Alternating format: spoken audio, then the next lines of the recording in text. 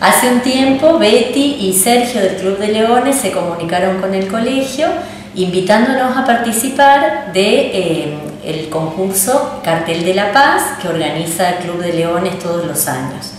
Eh, en este caso nos tocó a nosotros la invitación y bueno, por la edad de los chicos que tenían que participar realizamos el concurso con alumnos de sexto grado.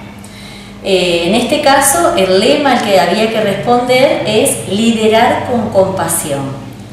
Entonces, bueno, todos los chicos de sexto quisieron hacer el dibujo, todos participaron. Y bueno, ayer vino el jurado y el jurado estuvo integrado por Elena Chantiri, por Elina Chantiri y por Erika Everard representando al colegio. Elena es docente jubilada, Elina es profe en el secundario y Erika es la representante de pastoral.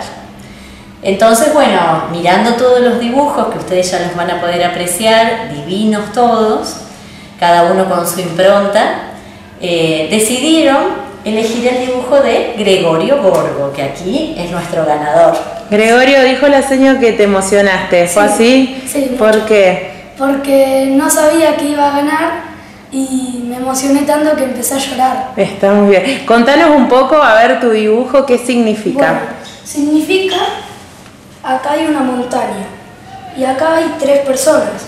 Una es pintada entera, que sería como tipo... Ese eh, es el líder. Sí, el líder, que está todo pintado. Acá le tira una soga y lo está ayudando el otro, que se ve que tiene una mitad gris. Y el otro tiene, lo ayuda también con la mano, y, pero tiene menos, Menos en color. menos de color sería. Y el fondo sería como la noche, ne- la noche Estrellada. estrellada. De un pintor famoso que era Sí. quién? Van, Van, Gogh.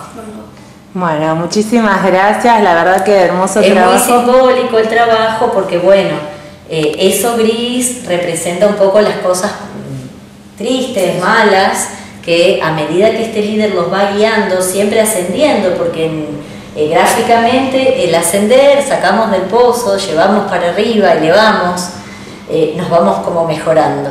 Entonces este líder que los va ayudando, tendiéndole esa soga, y bueno, el jurado vio especialmente este detalle de esa mitad en color y esa mitad en valor.